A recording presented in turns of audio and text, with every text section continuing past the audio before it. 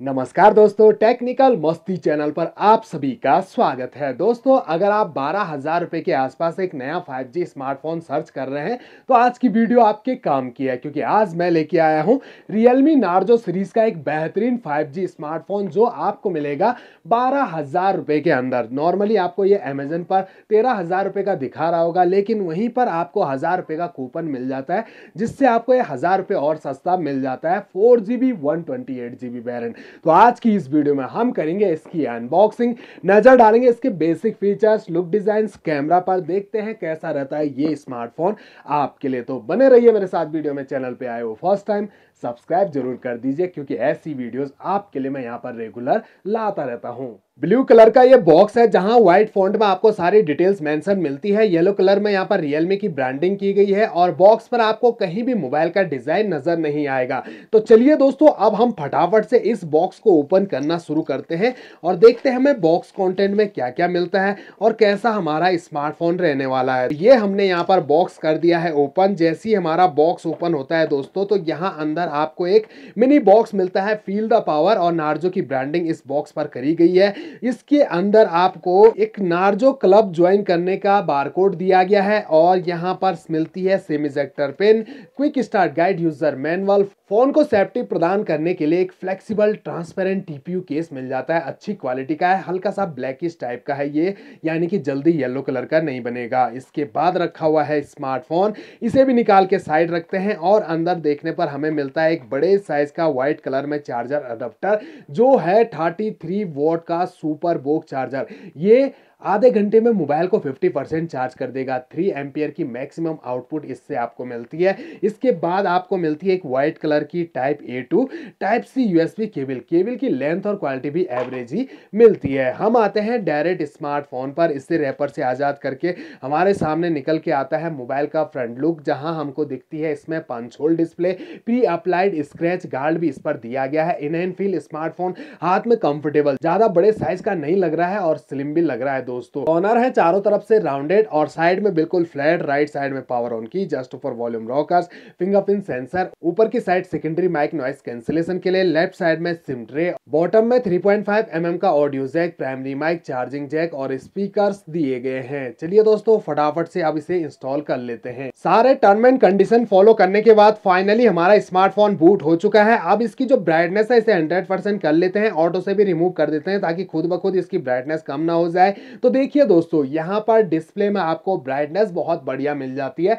680 nits तक की peak brightness है। एज और बेजल्स कॉर्नर ऊपर से बहुत पतले हैं। नीचे चिन थोड़ी सी ज़्यादा मिलती है, हालाँकि एवरेज ही है, इतनी ज़्यादा भी नहीं है। आइकन आपको नज़र आ रहे होंगे, स्क्रॉल अप करते ही यहाँ पर आपको सारे के सारे एप्लीकेशन भी नज़र आ जाती है। कुछ प्री इंस्टॉल एप्लीकेशन भी दी गई है, इनको आप चाहो तो अनइंस्टॉल भी कर सकते हैं। टच स्मूथ और फास्ट लग रहा है दोस्तों, इसमें आपको वन ट्वेंटी का रिफ्रेश रेट मिलता है। तो इसका रिफ्रेश रेट कर देते हैं हम हाई, और इसके बाद टच की स्मूथनेस देखते हैं कितनी बढ़ जाती है।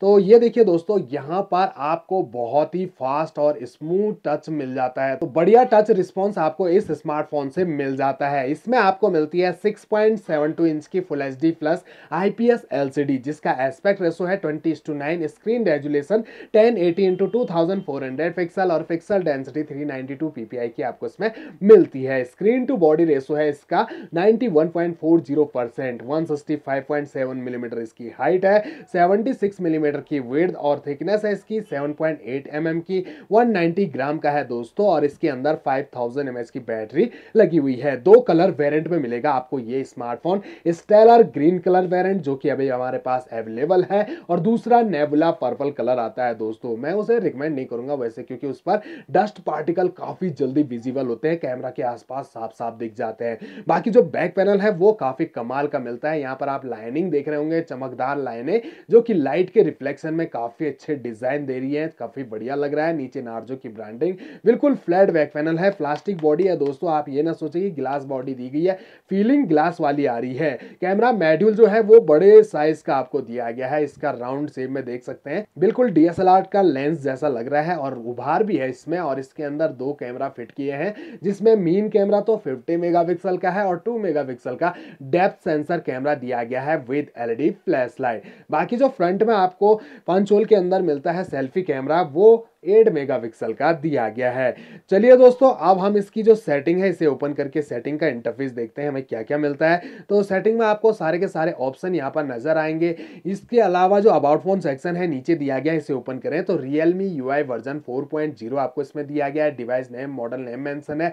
वन का स्टोरेज जिसमें से सिक्सटीन के करीब ऑलरेडी यूज़ हो चुका है। बाकी आपको यूज़ के लिए फ्री मिल जाता है स्मार्टफ़ोन में। और आप चाहो तो एक्सपेंडेबल मेमोरी वन टेराबाइट तक बढ़ा सकते हैं। Storage type U F S two point two का आपको इसमें मिलता है। इसके अलावा five thousand M H battery को मेंशन किया है डिस्प्ले साइज़। बात करें इसके प्रोसेसर की तो दोस्तों, इसमें टू पॉइंट टू गीगा का ऑक्टा कोर प्रोसेसर आपको दिया गया है और जो चिपसेट है, वो आपको MediaTek Dimensity six plus का मिलता है। ये बेस्ड है सिक्स एन के फैब्रिकेशन पर और माली जी के ग्राफिक आपको इसमें दिए गए हैं।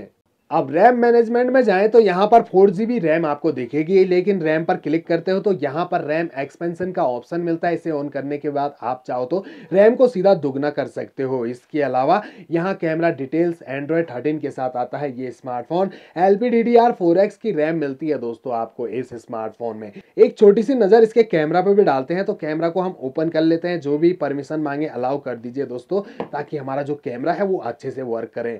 तो ऑब्जेक्ट पे फोकस करते हैं तो कलर्स बहुत बढ़िया आपको इसके कैमरा से मिल जाते हैं। देखिए दोस्तों, ये नेचुरल कलर लग रहे हैं। जूमिंग पावर देखते हैं इसकी तो यहाँ पर ये जूम जाता है पूरा टेन तक।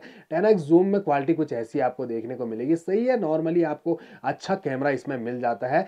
प्राइस के हिसाब से बाकी वीडियो मोड में आप इससे टेन में थर्टी एफ़ पी में थर्टी एफ़ में फुल एचडी वीडियो शूट कर सकते हो। नाइट मोड आपको मिलता है स्ट्रीट मोड दिया गया है। इसके अलावा पोर्ट्रेट अगर आपको बैकग्राउंड ब्लर चाहिए तो पोर्ट्रेट का यूज़ कीजिए। फिफ्टी मेगापिक्सल कैमरा यहाँ से इनेबल होगा, यहाँ से सिर्फ़ ज़्यादा एमबी की फ़ोटो बनेगी, बाकी क्लैरिटी वैसी रहती है। मोड सेटिंग में आपको film dual view video mode panorama time lapse still shift pro slow motion और टेक्स्ट स्कैनर जैसे ऑप्शन मिल जाते हैं। वहीं पर इसका 8 मेगापिक्सल का सेल्फी कैमरा देखें तो मैं कहूँगा ज़्यादा कोई खास नहीं लगा मुझे इसका सेल्फी कैमरा। कलर्स उतने बढ़िया नहीं लग रहे हैं इसके सेल्फी कैमरा से, जितनी मुझे इससे उम्मीद थी दोस्तों।